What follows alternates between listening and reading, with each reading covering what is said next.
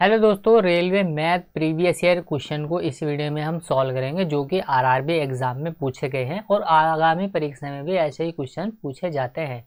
तो ये एक प्रैक्टिस सेशन है, इसलिए आपको पेन, पेपर लेकर के बैठना है और प्रत्येक क्वेश्चन को आपको वीडियो पॉज करके सॉल्व करना है और उसके बाद आपको इनका सोल्यूशन देखना है।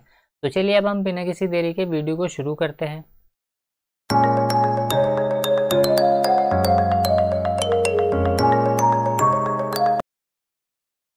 तो देखिए, पहला क्वेश्चन दिया गया है, चक्रवृद्धि ब्याज से क्वेश्चन लिया गया है। यहाँ पर देखिए, एक धनराशि पर पाँच परसेंट वार्षिक ब्याज की दर से तीन वर्ष का चक्रवृद्धि ब्याज यहाँ पर देखिए छः हज़ार तीन सौ पाँच रुपये है।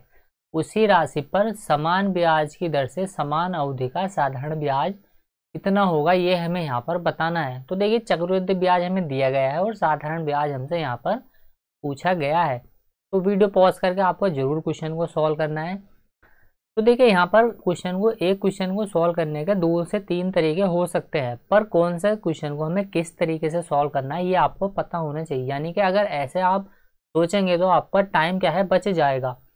क्योंकि देखिए, यहाँ पर सक्सेसिव रेट से भी हम क्वेश्चन को सॉल्व कर सकते हैं फ्रैक्शन से भी हम इसको सॉल्व कर सकते हैं, और फॉर्मूले में वैल्यू पुट करके अगर आपको फॉर्मूला याद है तो आप उसमें भी वीडियो क्वेश्चन की वैल्यू को पुट करके सॉल्व कर सकते हैं। बट यहाँ पर देखिए आपको फ्रैक्शन वैल्यू से जाना आसान रहेगा। बाकी अगर आप देखें तो देखिए साधारण ब्याज क्या होता है? हर साल बराबर बराबर मिलता है, जबकि चक्रवृद्धि ब्याज क्या होता है? ब्याज के ऊपर भी यहाँ पर ब्याज हमें मिलता है। तो देखिए यहाँ पर पाँच परसेंट है और समय देखिए तीन साल का है तो हम कह सकते हैं, अगर इसकी सक्सेसिव रेट हम निकालें तो कितनी होगी? पंद्रह पॉइंट, यहाँ पर देखिए सात छः दो पाँच प्रतिशत होगी। अब देखिए कुछ जो यहाँ पर सक्सेसिव रेट होती है, अगर उनको आप याद कर लेते हो तो आप बहुत ज़्यादा समय एग्ज़ाम में बचा लेंगे। तो कुछ ही वैल्यू ऐसी होती है जो आपको याद होनी चाहिए। जैसे यहाँ पर पाँच परसेंट की है। दो साल की तो देखिए निकालना आसान होता है। मान लीजिए यहाँ पर पाँच परसेंट की रेट है, और समय यहाँ पर दो साल का होता तो कितनी हो जाती? पाँच पाँच दस, और यहाँ पर हम इसका वर्ग कर देंगे तो यहाँ हो जाएगा दो पाँच प्रतिशत। तो ये दो साल की क्या है? पाँच परसेंट की सक्सेसिव रेट निकल के आ जाएगी। बट दो साल की आपको याद नहीं करनी है तो वैसे ही हो जाती है। तीन साल की जैसे मान लीजिए टेन, दस परसेंट ये और तीन साल है। अब दस दस दस करके आप निकालेंगे नहीं, इससे बेहतर है कि आप याद कर लीजिए तैंतीस पॉइंट एक परसेंट होती है यहाँ पर तीन साल की रेट। तो ऐसे अगर ये आप याद कर लेते कुछ डाटा को तो आप और भी जल्दी क्वेश्चन को सॉल्व कर लेंगे। ये बहुत ज़्यादा हेल्पफुल होता है, बहुत जगह पर ये काम आता है। लेकिन यहाँ पर हम क्या करेंगे, देखिए यहाँ पर हम फ्रैक्शन से सॉल्व करेंगे क्वेश्चन को, जैसे कि पाँच परसेंट है। पाँच परसेंट का मतलब क्या होता है? तो देखिए, पाँच परसेंट का मतलब होता है यहाँ पर एक बटे बीस। तो मैंने मान लिया कि हमारा जो प्रिंसिपल है ना, वो कितना है? बीस है। अब इसके ऊपर हमें एक का ब्याज मिलेगा तो हमारा अमाउंट कितना हो जाएगा? अमाउंट हो जाएगा हमारा यहाँ पर इक्कीस। तो इनका रेशियो हम लिख लेते हैं यहाँ पर, देखिए। तो प्रिंसिपल रेशियो लिख लेते हैं हमें अमाउंट का, यानी कि मिश्र धन का। तो देखिए, मैंने माना कि हमारा बीस रुपये क्या है? मूलधन है, और उस पर हमें एक का ब्याज मिला तो हमारा मिश्र धन कितना हो जाएगा? इक्कीस हो जाएगा। अब देखिए समय तीन साल का है तो बीस से इक्कीस, बीस से इक्कीस, इस तरीके से वो हो जाएगा। लेकिन यहाँ पर हम लिखेंगे नहीं, अगर तीन साल का है तो हम पावर तीन यहाँ पर लगा देंगे। तो देखिए यहाँ पर क्यूब भी आपको याद होनी चाहिए तो क्यूब भी बहुत ज़्यादा, क्योंकि देखिए चक्रवृद्धि ब्याज एक ऐसा चैप्टर है जहाँ पर बहुत ज़्यादा कैलकुलेटिव क्वेश्चन भी पूछे जाते हैं। तो यहाँ पर क्यूब जैसे क्यूब है सक्सेसिव रेट है तो अगर ये हमें याद होगी तो हम थोड़ा समय एग्ज़ाम में बचा लेते हैं और काफ़ी जल्दी डाटा को समझ कर, क्योंकि डाटा इस तरीके से सेट किया जाता है कि अगर आपने थोड़ी सी भी प्रैक्टिस कर रखी तो आप देखते ही समझ जाएँगे क्वेश्चन को, ये कैसे बन सकता है। तो बीस का क्यूब देखिए कितना होता है, यहाँ पर आठ हज़ार होता है। और इक्कीस का क्यूब कितना होता है तो ये बयानवे इकसठ होता है। तो बीस तक तो देखिए आपको पूरे याद होने चाहिए। बीस के बाद आपको कुछ ही याद होने चाहिए, जैसे इक्कीस है, बाईस है, इसके अलावा इकतीस है, इकतीस के अलावा एक इकतालीस का भी है। तो ये कुछ याद होने चाहिए, चार पाँच। अब देखिए, यहाँ पर हमारा जो मिश्रधन है, यानी कि जो हमारा मूलधन है, वो तो आठ हज़ार है और जो हमारा अमाउंट है, यानी कि मिश्रधन है, वो कितना है? नौ हज़ार दो सौ इकसठ है। तो देखिए, यहाँ पर हमें ब्याज कितने का मिलेगा? तो ब्याज यहाँ पर मिलेगा हमें कितने का? दोनों का अंतर कर लेंगे हम बारह सौ इकसठ रुपये का। लेकिन क्वेश्चन में बोला गया कि ब्याज हमें बारह सौ इकसठ का नहीं मिला, ब्याज तो हमें मिला है पाँच हज़ार तीन सौ पाँच रुपये का। यानी कि देखिए, ये जो तिरपन सौ पाँच वैल्यू हमें दी गई है ये किसकी वैल्यू दी गई है हमें? बारह सौ इकसठ की वैल्यू हमें दी गई है और आठ हज़ार की वैल्यू हम यहाँ पर निकाल लेंगे। मतलब हमारा यहाँ से ये निकल के आ जाएगा। मूलधन कितना होगा? तो मूलधन यहाँ से हम निकाल लेंगे। लेकिन क्वेश्चन में हमसे मूलधन नहीं पूछा गया। तो हमसे क्या पूछा गया है कि साधारण ब्याज कितना होगा? तो ये जो हमने निकाला है ना, ये क्या है हमारा? ये हमारा मूलधन निकल के आया है। तो मूलधन हम नहीं निकालेंगे, इसको हम सॉल्व नहीं करेंगे। हम क्या करेंगे? तो ब्याज जो होता है, देखिए, जो साधारण ब्याज होता है, वो हर साल पाँच पाँच परसेंट मिलेगा। तो देखिए, पाँच परसेंट की दर से तीन वर्ष का जो साधारण ब्याज होगा, वो कितना होगा? पंद्रह प्रतिशत के बराबर होगा। तो इसका भी हम क्या करेंगे? पंद्रह परसेंट निकाल देंगे, जो हमसे पूछा गया है। तो बस यहाँ पर अब इसको हम सॉल्व कर लेंगे। इसको जब हम सॉल्व करेंगे तो देखिए कितना हो जाएगा ये। यहाँ पर देखिए, दो ज़ीरो से तो हम दो ज़ीरो कैंसिल कर देंगे यहाँ पर ये। और देखिए बारह पंजे साठ और यहाँ ये छः पंजे तीस। मतलब ये सीधा सीधा हमें दिख रहा है कि ये इसका पाँच गुना है और आठ पंजे हो जाएगा चालीस और यहाँ हो जाएगा देखिए, यहाँ पर आठ पंजे चालीस, एक ज़ीरो आ जाएगा, ये गुणा कर देंगे हम यहाँ पंद्रह से। तो पंद्रह चौके हो जाएगा साठ और डबल ज़ीरो ऐसे का ऐसे ही लगा देंगे। मतलब जो हमारा साधारण ब्याज निकल के आएगा, जो हमारा देखिए यहाँ पर ये ऐसा ही निकल के आ गया, वो कितने निकल के आ गया? छः हज़ार रुपये निकल के आ जाएगा। तो देखिए, यही हमसे पूछा गया था। अगर यहाँ पर पूछता कि वो मूलधन कितना होगा तो मूलधन हम यहाँ पर इतना इतना सॉल्व करके ही बता देते कि मूलधन हमारा कितना होगा। बट हमसे मूलधन नहीं पूछा गया, हमसे पूछा गया था साधारण ब्याज। तो साधारण ब्याज हमने आराम से निकाल लिया। अगला क्वेश्चन देख लेते हैं अब हम। तो देखिए, यहाँ पर क्वेश्चन दिया गया कि P plus Q plus R यहाँ पर तेरह के बराबर है। पी क्यू प्लस के क्यू आर प्लस के आर पे तीस है। तो यहाँ पर पी क्यू प्लस के क्यू क्यूब प्लस के आर क्यूब माइनस के थ्री पी क्यू आर का मान कितना होगा? इस क्वेश्चन को भी हम दो तीन तरीके से सॉल्व कर सकते हैं। पहले तो हमें अगर फॉर्मूला याद है तो हम डायरेक्टली वैल्यू को फॉर्मूले में पुट कर देंगे। और दूसरा वैल्यू पुटिंग से भी हम इसको बहुत जल्दी सॉल्व कर सकते हैं। वैल्यू पुटिंग से सॉल्व करने के लिए भी आपको फॉर्मूला तो याद होने ही चाहिए। कैसे याद होना चाहिए तो वो भी हम यहाँ पर देख लेंगे।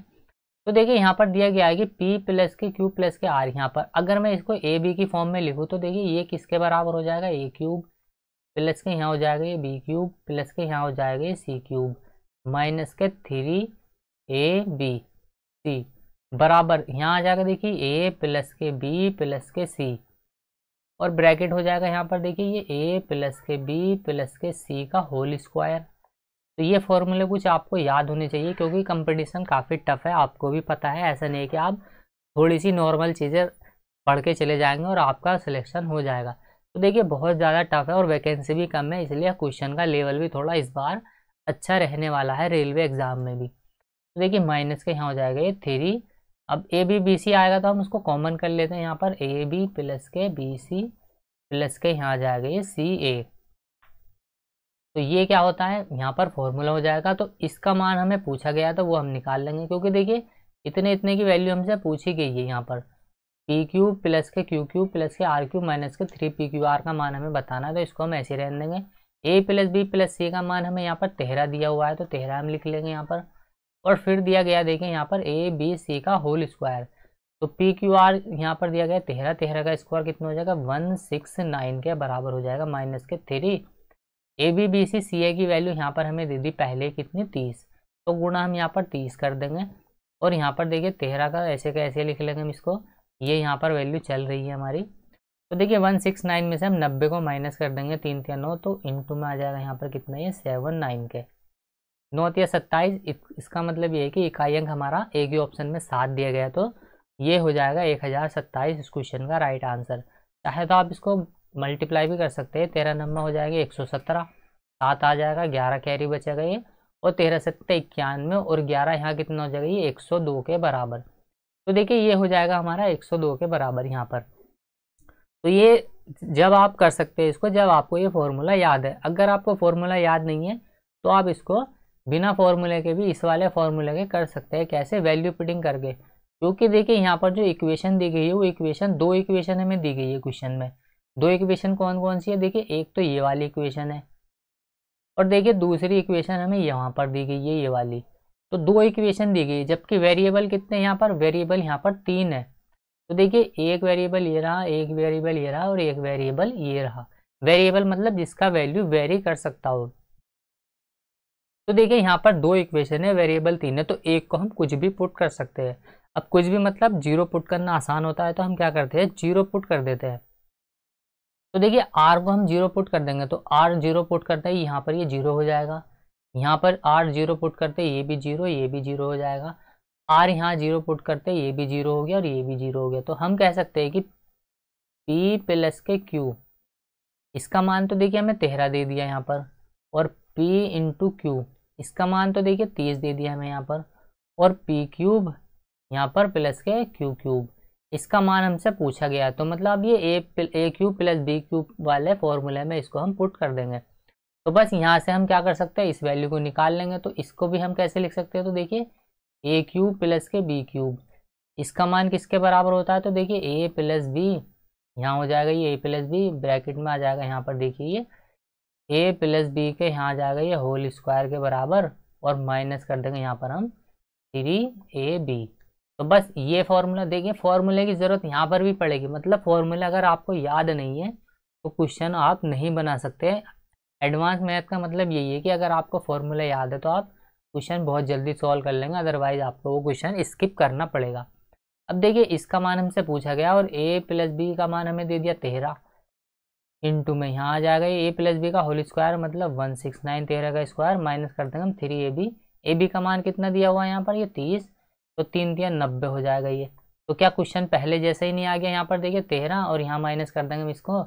तो तेरह गुणा में यहाँ कितना आ जाएगा ये? माइनस करके सेवन नाइन तो फिर से देखिए एक हज़ार सत्ताईस इस क्वेश्चन का राइट आंसर हमारा हो जाएगा। ये कब आएगा? जब हमें फॉर्मूला यहाँ पर याद होंगे। अगला क्वेश्चन देख लेते हैं अब हम। क्वेश्चन दिया गया यहाँ पर, देखिए एक वस्तु का सूची मूल्य दो सौ रुपये है। अब दो यहाँ पर क्रमिक छूटों के बाद डिस्काउंट के बाद एक ग्राहक इसे क्या करता है? एक सौ में ख़रीदता है। यदि एक डिस्काउंट यहाँ पर देखिए दस परसेंट का है तो दूसरा डिस्काउंट कितने का होगा? दो दशमलव तक हमें याद करना है। अब देखिए जो भी हमारा प्रॉफिट होता है ना, ये चीज़ आपको याद है ना, बस प्रॉफिट एंड लॉस में मेरे हिसाब से तो दो ही चीज़ें आपको पता होनी चाहिए। दो चीज़ें कौन कौन सी कि जो भी लाभ होगा या हानि होगी, वो हमेशा यहाँ पर कॉस्ट प्राइस पर होने वाली है। चाहे तो देखिए प्रॉफिट प्रतिशत हो, चाहे यहाँ पर देखिए लॉस प्रतिशत हो। ये हमेशा सीपी पर होता है, यानी कि क्रय मूल्य पर होता है। और जो भी हम डिस्काउंट परसेंट देते हैं, वो हमेशा हम मार्क प्राइस यानी कि अंकित मूल्य पर देते हैं। तो ये दो चीज़ें अगर आपको याद है तो आप बहुत जल्दी क्वेश्चन सॉल्व कर लेंगे। यहीं से कॉन्सेप्ट निकल के आते हैं मतलब। तो देखिए, उसका जो मार्क प्राइस दिया गया, यानी कि एमपी दिया गया है ना, वो कितना दिया गया यहाँ पर? दो सौ दिया गया है। अब जो भी हम इस पर डिस्काउंट देंगे, उसके बाद हमारा डिस्काउंट देने के बाद सेलिंग प्राइस निकल के आ जाएगा। तो देखिए हमने क्या किया? दो सौ रुपये तो देखिए यहाँ पर उसका सूची मूल्य है, यानी कि अंकित मूल्य है। और इस पर हमने क्या किया? दस परसेंट का एक डिस्काउंट दे दिया एक। दस परसेंट का जब हम इस पर डिस्काउंट दे देंगे तो इसका जो सेलिंग प्राइस निकल के आएगा वो कितना निकल के आएगा? तो यहाँ निकल के आ जाएगा मतलब नौ बटे दस। क्योंकि देखिए दस परसेंट का मतलब क्या होता है? एक बटे दस। और दस के ऊपर जब हमने, यानी कि एक बटे दस, एक की हमने क्या किया? छूट दे दी तो नौ में हमने उसको बेच दिया। लेकिन इस पर हमने क्या किया? एक और डिस्काउंट दे दिया। ये एक डिस्काउंट तो हमने दिया और एक डिस्काउंट और देने के बाद में फाइनली जो उसका सेलिंग प्राइस निकल के आएगा उसके हिसाब से, वो कितने का आएगा? एक सौ पचास रुपये आएगा। मतलब ग्राहक के लिए तो देखिए एक सौ पचास रुपये क्या है ये? उसका क्रय मूल्य है। और जो बेचने वाला है उसके लिए क्या है ये? सेलिंग प्राइस है। तो ये वाला क्या हो जाएगा? एक यानी कि ये एस निकल गया है। या कौन सा वाला जब हमने एक बार डिस्काउंट इस पर दे दिया, पर एक और दिया है, वो कौन सा दिया है, वो यहाँ पर हमें बताना है, बस इसको हम यहाँ पर ऐसे ही लिख लेंगे। क्योंकि एक बार डिस्काउंट देने के बाद में देखिए, इसको काट लेते हैं हम, ज़ीरो से ज़ीरो कैंसिल और यहाँ पर देखिए, ज़ीरो से इसको काट लेंगे तो देखिए, नौ दुनिया में यहाँ आ जाएगा अट्ठारह, और यहाँ आ जाएगा ये पंद्रह। मतलब फिर से काट सकते हैं हम इसको, तीन छंग अट्ठारह, तीन पंजे पंद्रह। तो देखिए छः की चीज़ को हमने पाँच में बेच दिया तो एक का डिस्काउंट दिया हमने। छः के ऊपर एक का डिस्काउंट और एक बटे छः का मतलब क्या होता है? सोलह से ही दो बटे तीन प्रतिशत। यानी कि ऑप्शन डी हो जाएगा इस क्वेश्चन का राइट आंसर क्योंकि देखिए, प्रतिशत में क्या होता है? हम वैल्यू को अपनी मर्ज़ी से छोटा या बड़ा कर सकते हैं। प्रतिशत में कोई भी चेंज नहीं आता है। जैसे मान लीजिए, सौ की चीज़ को हमने क्या किया? एक सौ बीस रुपये में बेच दिया। तो हमें कितने का प्रॉफिट होगा? बीस प्रतिशत का प्रॉफिट होगा। या फिर हम कहने लगे यहाँ पर, देखिए, पचास की चीज़ को हमने साठ में बेच दिया। तो वो हमें कितना का प्रॉफिट होगा? दस का होगा। किसके ऊपर? पचास के ऊपर दस का। तो गुणा में लगा देंगे हम सौ, मैंने क्या पचास गुना में सौ। अभी भी हमें बीस परसेंट का ही लाभ होगा। तो देखिए, प्रतिशत निकालने के लिए वैल्यू को हम छोटा या बड़ा बना सकते हैं। इसीलिए हमने क्या किया? वैल्यू को काट लिया अपने हिसाब से। एक डिस्काउंट देने के बाद में इतना सेलिंग प्राइस आया, लेकिन एक और दिया जिसकी वजह से फाइनली उसने डेढ़ सौ रुपये में बेचा। तो कितने का और दे दिया उसने? एक का और दे दिया छः के ऊपर। वो हमने यहाँ से निकाल लिया। अब देखिए यहाँ पर दिया गया है कि नब्बे किलोमीटर की चाल से चल रही एक एक अस्सी मीटर लंबी रेलगाड़ी को, एक पोस्ट को पार करने में कितना टाइम लगेगा? यानी कि कहने का मतलब ये है कि खुद को पार करने में उसको कितना समय लगेगा? या फिर आप इस क्वेश्चन को ऐसे भी सोच सकते हैं कि कोई गाड़ी 90 किलोमीटर की रफ्तार से चल रही है तो वो 180 मीटर की दूरी कितने सेकंड में कवर करेगी? अब देखिए यहाँ पर दिए गए 90 किलोमीटर की दूरी है, यानी कि यहाँ पर ये किलोमीटर पर आर में दिया गया है और यहाँ ये मीटर में दी गई है वैल्यू। तो हम क्या करेंगे, इसको भी मीटर पर सेकेंड में चेंज कर लेंगे। तो मीटर पर सेकेंड में चेंज करने के लिए क्या करेंगे पाँच बटे अठारह से इसमें मल्टीप्लाई कर देंगे। स्पीड बराबर क्या होता है, देखिए डिस्टेंस अपॉन टाइम ही होता है। तो इसी फॉर्मूले में हम वैल्यू पुट कर रहे हैं। अब ये क्या है, ये क्या है, ये स्पीड निकल के आ गई उसकी मीटर पर सेकेंड में स्पीड। अब देखिए यहाँ स्पीड और डिस्टेंस कितना है यहाँ पर? देखिए 180 मीटर है और टाइम कितना लगेगा? टाइम ही तो हमसे यहाँ पर पूछा गया है तो बस यहाँ पर हम निकाल लेंगे। तो देखिए, यहाँ से हम इसको काट लेंगे तो 18 पंजे हो जाएँगे यहाँ पर, ये नब्बे और पाँच पंजे हो जाएँगे यहाँ पच्चीस। तो ये पच्चीस बटे में इधर चला जाएगा तो टी की वैल्यू कितनी आ जाएगी यहाँ पर? एक सौ अस्सी बटे में आ जाएगा यहाँ पर, ये पच्चीस। पाँच से और काट सकते हैं हम इसको तो पाँच से काटेंगे मैं अठारह दूना हो जाएगा यहाँ पर, ये छत्तीस। बटे में आ जाएगा ये पाँच के तो पाँच सत्ते हो जाएगा पैंतीस और पाँच दूना में दस। सेकेंड का टाइम लगेगा, यानी कि सेवन पॉइंट टू सेकेंड का उसको समय लगेगा एक सौ अस्सी मीटर की दूरी तय करने में या फिर खुद को पार करने में। लैंग्वेज का ही यहाँ पर खेल है बस सब कुछ, चाहे तो वो खुद को पार कर रही है या फिर वो 180 मीटर की दूरी को कवर कर रही है। अगला क्वेश्चन देखिए रेशो से दिया गया आसानी सवाल है यहाँ पर। यदि देखिए ए, बी का अनुपात 45 रेशो 36 है और बी सी का अनुपात यहाँ पर 16 रेशो 35 है। तो ए सी का कितना होगा ये हमें बताना है। तो देखिए, ऐसे क्वेश्चन को सॉल्व करने में हमें ज़्यादा समय नहीं देना है। जैसे मान लीजिए, यहाँ पर हमें दे दिया कि ए रेशो बी हमें कितना दे दिया, मान लीजिए? टू रेशो थ्री दिया हुआ है। बी रेशो सी यहाँ पर देखिए कितना दे दिया, मान लीजिए? फोर रेशो फाइव दिया हुआ है। सी रेशो यहाँ पर मैंने माना डी दे दिया हमें यहाँ पर। ले लेते हैं कुछ भी चलो टू रेशो यहाँ पर, फिर से two ratio two ratio one दिया हुआ है। चलिए ये हमने ले लिया यहाँ पर। अगर हमसे यहाँ पर वैल्यू पूछ ली जाए कि ए रेशो डी कितना होगा तो ए रेशो डी निकालने के लिए हम क्या करेंगे? डायरेक्टली क्या करेंगे? हम डायरेक्टली मल्टीप्लाई कर देते हैं ए ए वालों का ए में और बी वालों का बी में। कैसे? देखिए, शुरू वाला ए है यहाँ पर तो ए से यहाँ पर मल्टीप्लाई हो जाएगा, कितना हो जाएगा? दो दुना में, यानी कि दो चौक आठ, और यहाँ कितना हो जाएगा आठ दुना में सोलह तो यहाँ कितना लिख देंगे हम सोलह। डी का पूछा गया तो डी मल्टीप्लाई कितना हो जाएगा, यहाँ पाँच एकम पाँच, और पाँच थे पंद्रह। तो देखिए ए रेशो डी जो निकल के आएगा वो हमारा पंद्रह आएगा। ऐसा हम करते क्यों हैं? तो इसका प्रूफ भी हम देख लेते हैं ताकि आपको कोई कन्फ्यूज़न ही ना हो। तो देखिए यहाँ ए रेशो बी दे दिया हमें, यहाँ पर कितना? ए रेशो बी हमें दिया हुआ दो रेशो तीन। बी रेशो कितना दे दिया? बी रेशो बी रेशो, दो रेशो, यहाँ कितना लिखा हुआ था? ये तो भूल ही गए हम। तीन रेशो, पाँच। तो पता ही नहीं चल गया कितना होगा। कुल मिलाकर के जो मैंने बताया है, वो यहाँ पर आपको देखना था बस। पाँच एकम पाँच, यहाँ लिखने मैंने दो दूना चार, दो दूना चार चार चौक सोलह। तो यहाँ चार रेशो, पाँच था ये, चार रेशो, पाँच। तो देखिए, यहाँ दिया हुआ बी रेशो सी, चार रेशो, पाँच। यहाँ से हटा देता हूँ मैं इसको, चलिए। और उसके बाद देखिए नीचे दे दिया यहाँ पर सी रेशो डी कितना? दो रेशो में एक। अब देखिए यहाँ पर ये सी है और ये डी है। तो जो वैल्यू जिसके सामने होती है वो हम उसको बढ़ा देते हैं यहाँ पर। ये हमने पहले ही सीख लिया था। तो देखिए यहाँ दो दो आ जाएगा। इसीलिए देखिए हम क्या करते हैं मल्टीप्लाई कर देते चार दुना आठ आठ दुना सोलह आ गया। और यहाँ हमने कुछ मिस कर दिया है क्या? यहाँ पर देखिए दो, पाँच कम पाँच पाँच दिया पंद्रह, तीन और छोड़ दिया था हमने। तो कुल मिलाकर के ऐसे ही मर्ज आपको करना है लास्ट यानी कि शुरू वाला, अगर एंड वाला आपसे पूछ ले जाए तो आपको पूरा लिखने की ज़रूरत नहीं है, सबकी आप मल्टीप्लाई कर देंगे और जो बाद में कट रहा है उसको काट देंगे। बस कहने का मतलब ये यानी कि आपको कॉन्सेप्ट को समझना है कि यहाँ पर हुआ कैसे ये। ऐसे देखें, यहाँ पर हुआ है ये। इसी क्वेश्चन को ले लेते चलिए अब हम।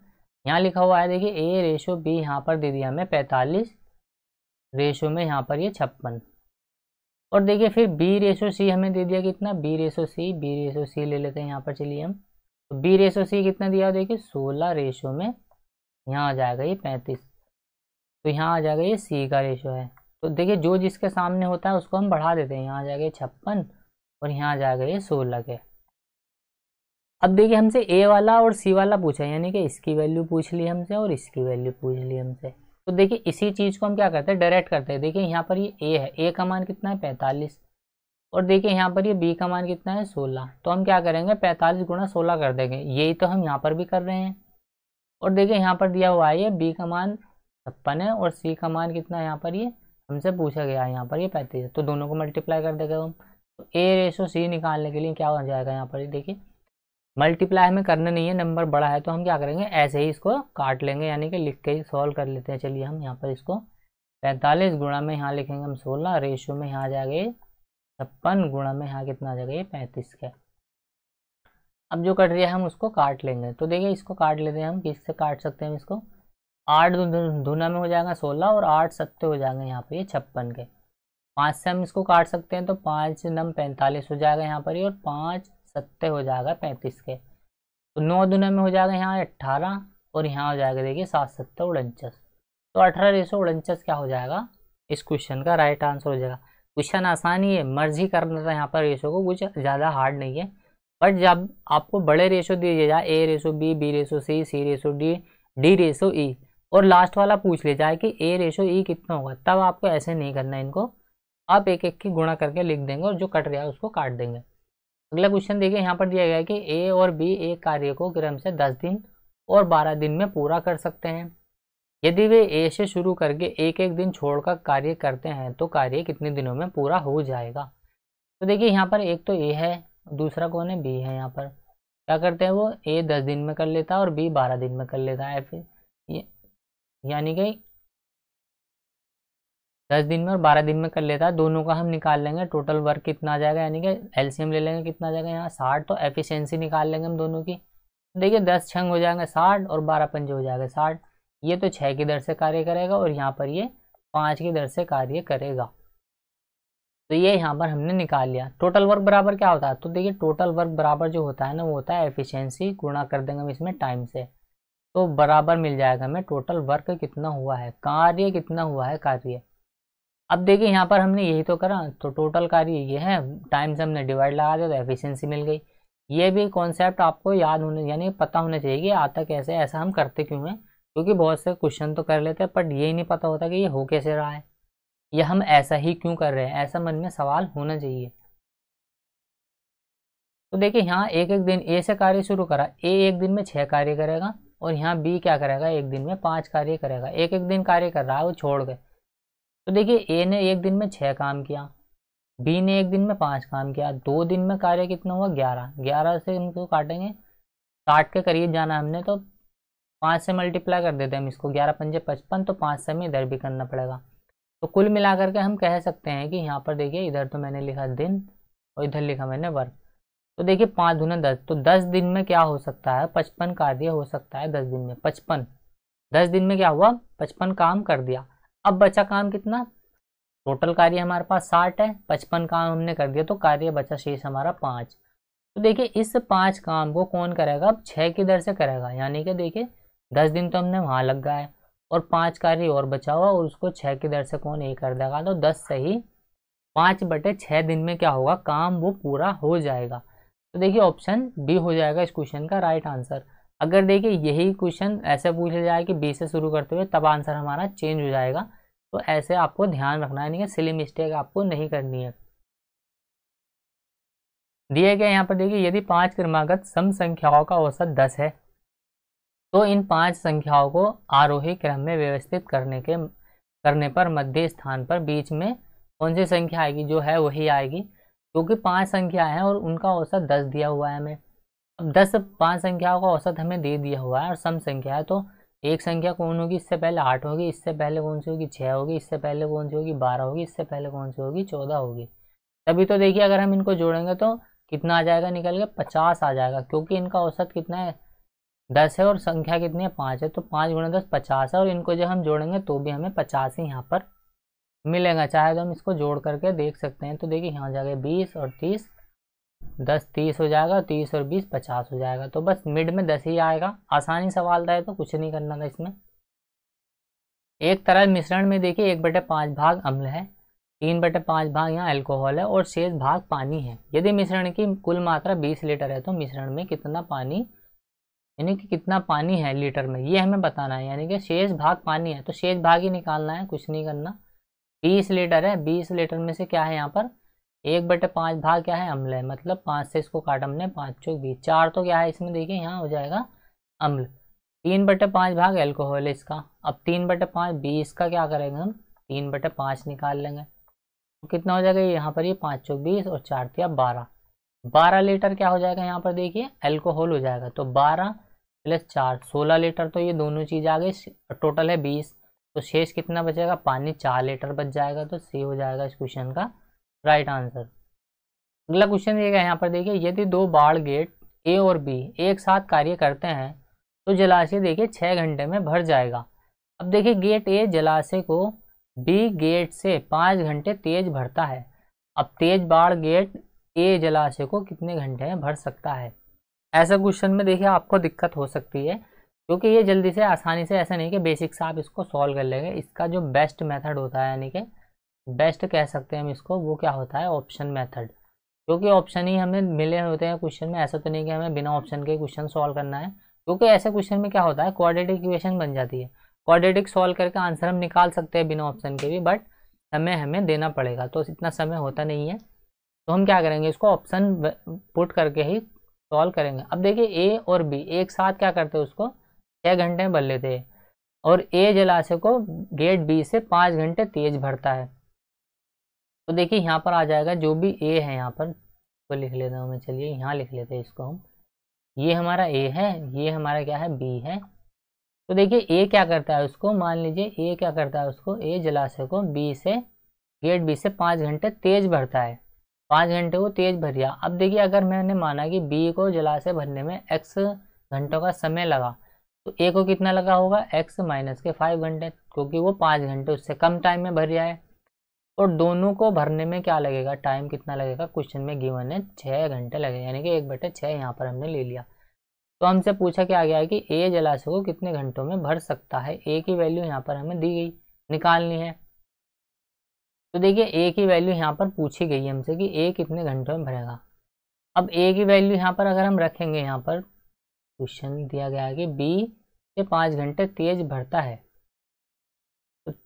पाँच घंटे तेज भरता है तो यहाँ पर हम प्लस का निशान लगाएँगे ना। तो यहाँ पर आ जाएगा बी अब देखिए ए की वैल्यू हमसे पूछी गई है। हमने माना कि ए उसको पाँच घंटे भरेगा तो इससे पाँच घंटे ये ज़ीरो में भरेगा तो पॉसिबल ही नहीं है ये तो। अगर हम बी का ले लें कि बी ऑप्शन बी उठा लें कि मान लीजिए ए उसको दस घंटे भर दिया तो बी उसको पाँच घंटे भरेगा, ये तो अपोजिट हो जाएगा। तो यहाँ पर हम कह सकते हैं कि ये ठीक है हमारा। अगर देखिए यहाँ पर ए हमने ऑप्शन ले लिया बी पाँच घंटे माइनस पाँच तो यहाँ आ जाएगा पाँच घंटे। वो उससे पाँच घंटे तेज भरेगा तो यहाँ जाएगा ये वन अपॉइंट टेन के। तो मतलब हमें वन अपॉइंट सिक्स से लेकर आना है यहाँ पर। तो वन अपॉइंट यहाँ आ जाएगा फाइव, प्लस कर देंगे यहाँ आ जाएगा ये वन अपॉइंट टेन। दोनों की क्रॉस मल्टीप्लाई किया हमने तो दस कम दस, पाँच कम पाँच, पंद्रह आ जाएगा यहाँ पर ये। और दस पंजे कितना हो जाएगा यहाँ पर ये पचास के। तो पाँच या पंद्रह और पाँच ढाई पचास। तो पॉसिबल नहीं है, ये गलत हो जाएगा। ऑप्शन बी देख लेगा अब हम। यहाँ पर देखिए, अगर इसको सात घंटे का टाइम लगेगा तो इसको कितना लगेगा यहाँ पर? दो ही घंटे का टाइम लगेगा। तो देखिए, ये भी गलत हो जाएगा यहाँ पर। ऑप्शन डी अगर हम ट्राई करें तो इसको अगर देखिए, तेरह घंटे का टाइम लगेगा तो इसको भी गलत हो जाएगा ये तो। तो क्या गलती कर दी हमने? शायद हमने कुछ शुरू में ले लिया था क्या? चलिए, एक बार और पढ़ लेते हैं, कोई ऐसा वो नहीं है यहाँ पर। ए जलाशय को देखिए गेट बी से पंद्रह घंटे तेज भरता है ए पंद्रह घंटे तेज कौन भरिया, ए भरिया। अगर मैं इसको यहाँ पर ऐसे रख लेता हूँ, चलिए। मान लेते कि ए एक्स घंटे में उसको भरेगा तो बी कितना टाइम लगेगा उसको? भरने में बी, इससे पाँच घंटे तेज भरेगा वो। तो एक्स प्लस के फाइव टाइम यहाँ पर वो लेने वाला है। तो देखिए, यहाँ पर मान लेते हैं उसको ए को टाइम लगेगा पाँच घंटे तो बी को कितना लगेगा? उससे पाँच ज़्यादा दस घंटे लगेंगे। तो दस ही कम दस, पाँच ही कम पाँच तो पंद्रह। पंद्रह बटे में यहाँ जाएगा पचास। तो एक बटे छः तो यहाँ से नहीं आने का। अब देखिए यहाँ पर अगर ए को दस घंटे लगेंगे तो दूसरे को कितने घंटे लगेंगे? पंद्रह घंटे लगेंगे क्योंकि वो पाँच घंटे तेज भर रहा। तो दस ही यहाँ जाएगा क्रॉस मल्टीप्लाई कर देंगे मीन की तो पच्चीस, पंद्रह ही कम पंद्रह हो जाएगा, दस ही कम दस तो पंद्रह दस पच्चीस बटे में आ जाएगा यहाँ पर एक सौ पचास। तो पच्चीस छंग डेढ़ सौ बिल्कुल ऑप्शन सेटिस्फाई कर गया हमारा। इसका मतलब हम कह सकते हैं कि ए को भरने में तो देखिए अकेले को दस घंटे लगेंगे। और बी को क्या लगेंगे उससे? पाँच ज़्यादा, पंद्रह घंटे।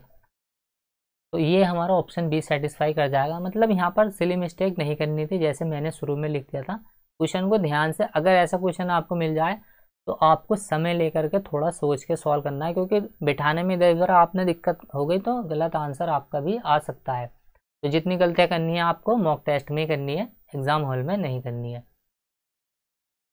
अगला क्वेश्चन दिया गया, यहाँ पर देखिए, ब्याज की गणना वार्षिक चक्रवृद्धि आधार पर करते हुए। राहुल, देखिए, किसी निश्चित धनराशि को 60 प्रतिशत वार्षिक चक्रवृद्धि ब्याज की दर पर दो वर्षों के लिए निवेशित करता है। यदि दो वर्ष के अंत में उसे ग्यारह हज़ार सात सौ रुपये ब्याज प्राप्त होता है तो वह शुरू में कितनी धनराशि निवेश करता है? आसान सवाल है, यहाँ पर देखिए, ऐसा ही सवाल हमने पहले भी किया था। तो देखिए, साठ परसेंट का फ्रैक्शन वैल्यू आसान है तो फ्रैक्शन से हम इसको सॉल्व कर लेंगे। तो देखिए, यहाँ पर दिया गया कि ब्याज की गणना वार्षिक रूप से की जा रही है और यहाँ पर दिया गया कि दो वर्ष का टाइम दिया हुआ है यहाँ पर। तो साठ परसेंट का कितना हो जाएगा फ्रैक्शन वैल्यू कितना हो जाएगा? बीस दुना। बीस या साठ और बीस पंजे सौ। तो हमने माना, देखिए, जो भी हमारा प्रिंसिपल है और अमाउंट का रेशियो है, वो हम यहाँ पर लिख लेंगे। तो हमने मान लिया प्रिंसिपल कितना है हमारा? जो मूलधन है, वो कितना है? पाँच है। और इस पाँच के ऊपर हमें तीन का ब्याज मिलेगा तो हमारा मिश्र धन कितना हो जाएगा? आठ हो जाएगा। और टाइम दो साल का है तो हम पाँच साठ नहीं लिख के स्क्वायर लगा देंगे। और तीन साल का था तो क्यूब कर देते हैं। पच्चीस रेशो में आ जाएगा आठ अट्ठे चौंसठ। तो प्रिंसिपल तो देखिए हमारा पच्चीस है और मिश्र धन हो गया हमारा चौंसठ। तो ब्याज हमें मिल गया। कितना का ब्याज मिला हमें? दोनों का डिफरेंस कर देंगे तो दोनों का डिफरेंस हमने कर दिया यहाँ पर। कितना आ जाएगा? नाइन। चौदह में से नौ गया यहाँ आ जाएगा चौदह में से पाँच गया, नौ बचेगा, पाँच में दो गया, तीन बचेगा, यानी कि थर्टी नाइन। तो देखिए, ये जो हमें ब्याज मिलेगा, थर्टी नाइन का मिलेगा। क्वेश्चन में बोला गया कि ब्याज हमें ग्यारह हज़ार सात सौ का मिला है। तो ये ग्यारह हज़ार सात सौ जो दिया गया है हमें, ये थर्टी नाइन की वैल्यू है, पच्चीस की वैल्यू हमें यहाँ पर निकालनी है। पच्चीस की, क्योंकि ये हमारा क्या है, प्रिंसिपल है, और प्रिंसिपल ही हमसे पूछा गया है। तो बस इसको हम सॉल्व कर लेंगे। तेरह से कट जाइए देखिए तेरह तिया उनतालीस, और तेरह नम्बा हो जाएगा एक सौ सत्रह। फिर तेरह, तीन से काट देंगे, तीन तीन, नौ, पच्चीस या पिछहत्तर। पिछहत्तर सौ हो जाएगा, आंसर इसका ऑप्शन डी। आसान सवाल है, चलिए अगला क्वेश्चन देख लेते हैं हम। तो इतने ही क्वेश्चन थे तो उम्मीद करता हूँ ये वीडियो आपको पसंद आएगी। पसंद आएगी लाइक करें शेयर करें कमेंट करें। और टेक्निकल इशू की वजह से वीडियो कम आती है तो अब देखेंगे कि कंटिन्यू वीडियो को करते हैं तो मिलते हैं अगली वीडियो में, तब तक के लिए बाय जय हिंद।